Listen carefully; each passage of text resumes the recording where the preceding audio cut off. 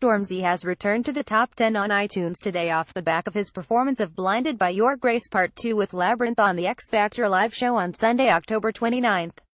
Both his debut album, Gang Signs Prayer, and the gospel-themed single are in the iTunes top 10 today. It was Stormzy's debut performance on the ITV talent show, though he appeared the previous week to assist Nicole Scherzinger in the judge's house. During the second live show of the series, Talia Dean was voted off after receiving the fewest votes following her rendition of One Direction's What Makes You Beautiful. Stormzy described his appearance as a big moment. However, the X Factor performance was soured by the reaction of MNEK, who was apparently replaced by psycho artist Labrinth for the TV performance.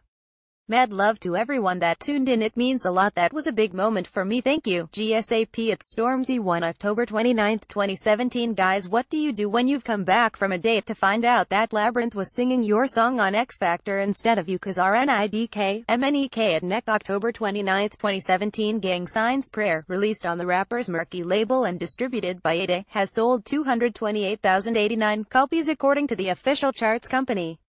Last week Stormzy won two awards at the GRM Daily Rated Awards. Following a win at the Q Awards he is also nominated for five MOBOs.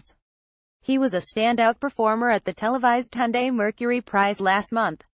X Factor contestant Grace Young is also high on iTunes today with her own song, Too Young. Rak-Su, who received the highest number of votes from the public, also performed an original song. Simon Cowell pulled out of the weekend's live shows after health problems.